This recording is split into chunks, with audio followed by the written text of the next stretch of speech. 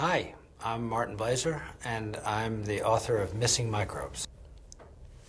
In Missing Microbes, I talk about another new topic, a topic that I call antibiotic winter. I give it that name because it's something quite terrible. One of the best things that our microbiome does for us is that our good bacteria help fight the bad bacteria. They're part of our defense system. They're part of our Coast Guard. And my concern is that if we are losing some of the good bacteria, we are more susceptible to invaders. This has been shown in studies in the, in the laboratory. We have knowledge of it with certain pathogenic organisms. And so, on the one hand, we're more susceptible. On the other hand, we live in a smaller world.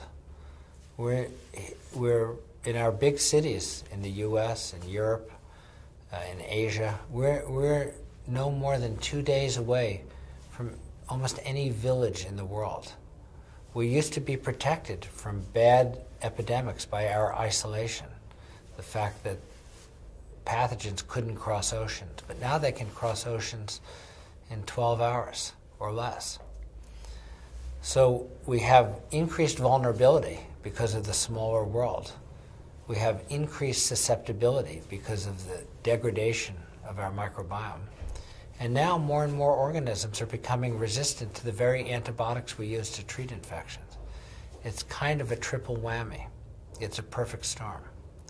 My hope is that we're not going to have another big plague. Or if it happens, it's not going to happen tomorrow. It's going to happen in a hundred years.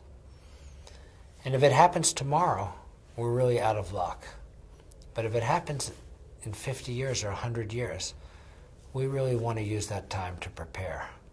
Because if we don't prepare, if we don't turn things around, then we will regret having wasted the opportunity. And the idea that, that bad plagues uh, don't happen it just isn't true. We see it with animals, we see extinctions.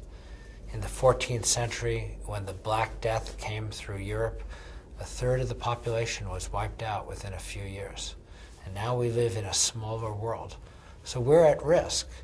And so we have to take ways to stop the degradation. We have to build up our microbiome again uh, so that we don't have, so we don't suffer from an antibiotic winter.